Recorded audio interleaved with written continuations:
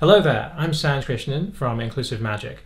I'm going to talk about Star Wars today, specifically Episode 9, the final movie in Disney's sequel trilogy. That trilogy had mixed reactions. If The Force Awakens was crowd pleasing but uninspired, and The Last Jedi was bold to some and heretical to others, The Rise of Skywalker is for pretty much everybody a disappointing end to the trilogy and the nine film saga. I spent time thinking about why I found it so disappointing, and what came to mind was a video by Michael Arndt the Oscar winning writer of Little Miss Sunshine and Toy Story 3, and briefly also writer of The Force Awakens. Arndt's video, Endings, The Good, the Bad, and the Insanely Great, says the key to a really satisfying ending is what's called philosophical stakes. I've written about how the biggest problem with The Rise of Skywalker is its total lack of philosophical stakes. You can read about it on my blog, but here I'm going to sum it up in a nutshell. Okay, so on a basic level, what keeps us emotionally invested in a story is that something important is at stake for the protagonist. Michael Arndt talks about three kinds of steaks: rump, sirloin, and wait, why, why am I why am I saying this? I'm a vegetarian. I guess I spend a lot of time around steak eaters. Anyway, three kinds of steaks. Number one, external. This is the conflict going on in the outside world. The example Michael Arndt uses is A New Hope. So there, the external stakes are: will the rebels destroy the Death Star and win a victory for freedom, or will the Empire use its weapon to instill more and more terror in the galaxy? Number two, the internal or personal stakes for our protagonist Luke are does he have a bigger destiny as a Jedi, or should he just be like his uncle?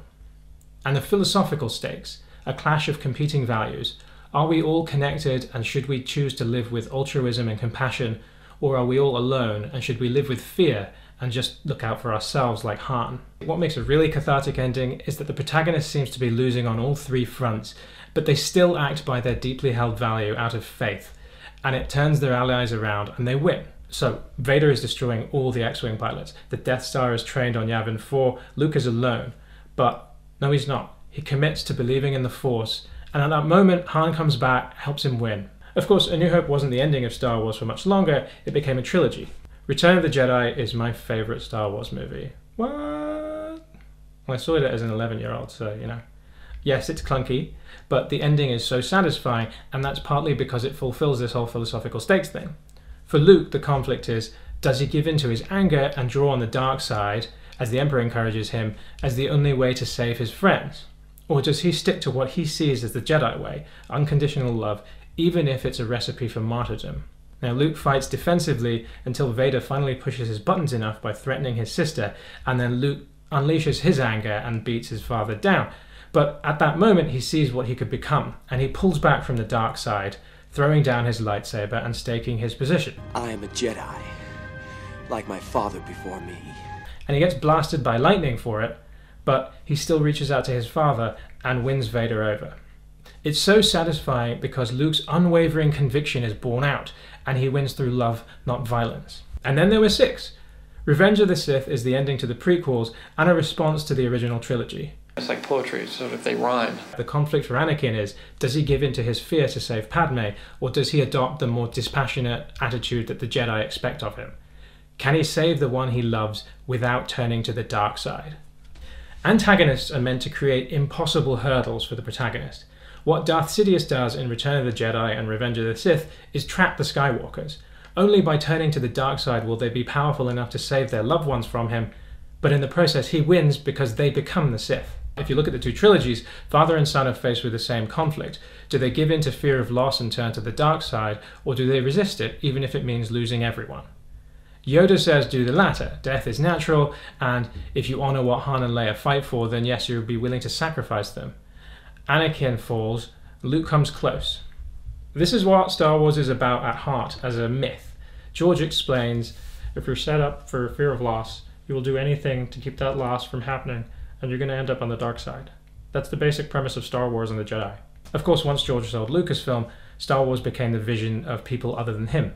We got The Force Awakens in 2015, which had as its goals capturing the fun of A New Hope, soothing people who didn't like the prequels, and introducing a new generation of heroes. It did capture the spirit of A New Hope, and it introduced some promising new characters, but in my opinion, it also undid the original trilogy just to repeat it. In repeating the very same setup, Rebels versus Empire tribute band, young Jedi student has turned and wiped out the other Jedi, his master's gone into exile. It undermined all the achievements of Luke, Leia, and Han because they seem to have made exactly the same mistakes that they spent the last three movies fixing. My question was, why? But the movie doesn't seem to think that's a question worth caring about. The Last Jedi does care about those questions. It doesn't care about the mystery box of Snoke or Rey's parentage, it cares about why the very same thing has happened all over again. That's why Luke is jaded. The film offers a reason for why this all happened. Luke created Kylo Ren. He briefly gave in to his fear of loss, like Anakin, Revenge of the Sith, and caused the thing he feared. It's controversial, yeah. It took me two viewings to get on board, but I think it's actually a really interesting choice. Luke has tried and failed to improve on the old ways, and he believes now that the Jedi do more harm than good. Of course, he's wrong because in the end, he does a lot of good by embodying the Jedi principles in the most stunning way. But at the end of the movie, you're left with Kylo, a guy who turned to darkness because he's felt weak, and now he's succeeded where even his granddad couldn't. And you have Rey, who holds the pieces of the past in her hands and has to build something new and enduring. I think that the stakes that film set up for 9 are will the Resistance defeat the First Order and restore freedom to the galaxy? Now that Kylo has succeeded where Vader failed, what has Rey learned that proves darkness is not strength? And how do you reconcile being a Jedi with being human or alien and all the vulnerabilities that, that entails? Can you? If you've read the script for Colin Trevorrow and Derek Connolly's Duel of the Fates, you'll know that episode 9 was at least briefly going to be about these things. But for whatever reason, that movie was replaced by The Rise of Skywalker, which is concerned with very different questions. The external conflict is now that Palpatine has somehow returned, will the Resistance find him and stop him from blowing up a load of planets? And according to Chris Terrio, the film is driven by two questions Who is Rey and how strong is the Force? Who is Rey? She's a Palpatine, but by her heart and deeds, she's a Skywalker. There's not a lot of tension in this question, since we never feel a plausible risk that she's going to be tempted to turn to the dark side. She has a brief bout of anger and lust for revenge, but then she goes into the final confrontation unwaveringly good. How strong is the Force?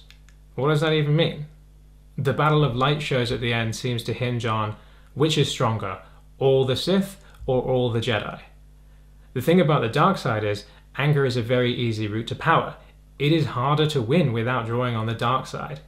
But here it turns out all you have to do is win by holding up two lightsabers and chanting for all the Jedi to be with you. Rather than the hero having to make a hard, character defining moral choice like Luke did in Return of the Jedi, we get a Deus Ex Machina. As Star Wars stalwart Sam Witwer, try saying that, of the Clone Wars and the Force Unleashed puts it, I think a Star Wars where the moral of the story is throw down your weapon, don't hurt your family, love or fear, that's superior than a Star Wars where you win by melting the bad guy's face off. If we look at the final battle between Rey and Kylo, she turns him by healing him. Her force heal is an act of selflessness, which he pays back. I don't like the force heal power, but if they made it a harder earned ability that crystallizes all of that cheat death stuff that Anakin dealt with, it could have been quite a payoff. It comes from Duel of the Fates. In that film, it's just the Resistance versus the First Order. Leia, Finn, and the heroes inspire a stormtrooper uprising and fight General Hux's armies to take Coruscant. Kylo Ren learns the power to drain life and goes to Mortis. Rey confronts him there, learns that he killed her parents, and she fights him in anger. He blinds her and then starts draining her life force. She reaches out to him and gets through, and Kylo feels the very thing that destroyed Anakin, but it doesn't make him feel weak. He gives her his life force and dies Ben Solo. Duel of the Fates is explicitly about balance of the Force, that old chestnut from the prequels. Rey grapples with how to be a Jedi and also have personal attachments. Her solution ends up being to embrace the dark side and the light, to find balance within. It's a neat idea, but the way it's portrayed in the script, it's a little too easy. If you can dabble in the dark side without a risk of it corrupting you, that undercuts the challenges that Anakin and Luke faced. So, what does balance actually mean? Here's what George Lucas said. I mean, you got the dark side, the light side. One is selfless, one is selfish. And you want to keep them in balance. What happens when you go to the dark side is it goes out of balance and then you get really selfish and you forget about everybody. And you... That doesn't mean you have to be a total pushover. In a deleted scene from The Last Jedi, Luke says, act only when you can maintain balance. He's saying that to criticize the old Jedi ways, but there's something to it Maybe it's that your human impulses are valid and you should listen to them, but ultimately they should give way to the will of the Force. When you use the Force, you shouldn't be twisting it to your own whims. Whoever leaked Duel of the Fates gave us a real gift. They showed us a version of Episode 9 that did really try and synthesize the three trilogies and have some philosophical stakes. There's so much about Rey that lends itself to that. She has major abandonment issues. Her fear is that she will become nothing in the eyes of others, that she'll cease to exist. So, what about an episode 9 climax where she has to surmount that by literally becoming selfless? Lightside strength isn't holding two lightsabers up and piggybacking off a bunch of dead Jedi, it's more like what Luke did on Crait, and it's compassion. The seeds of it are in Duel of the Fates, where Rey's dying act is to show compassion to her enemy, Kylo the beleaguered Skywalker, and she gets through to him. That's really powerful. We can only speculate about why Lucasfilm abandoned Duel of the Fates to take a totally different approach with The Rise of Skywalker. Carrie Fisher's tragic death obviously played a part, and the negative reaction in some quarters to The Last Jedi may have made Lucasfilm second guess itself, which I think ultimately was short sighted. It's very easy to criticize, of course, but what solutions do I have? Well, going forward, I think the solution is to make an episode 10. Not a trilogy, just a one off capstone to the saga, kind of like Toy Story 4 more on this in my next episode. Until then, check out my article that this video is based on at the link below.